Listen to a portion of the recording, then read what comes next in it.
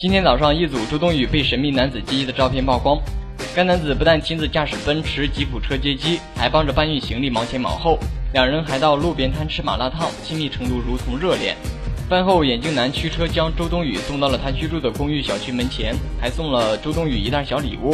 两人窃窃私语片刻后，才依依惜别。据某媒体报道称，该男子是周冬雨的富二代同学，两人正在热恋中。事后，据知情人透露。接机周冬雨的男子姓王，原籍是山东济南的一位九零后，目前正在国外留学，学习之余也是自己打工赚钱，并非是周冬雨的同学，也算不上富二代，家境只能说是尚好。据称，小王同学活泼开朗，性格外向，平时喜欢呼朋唤友，重感情讲义气。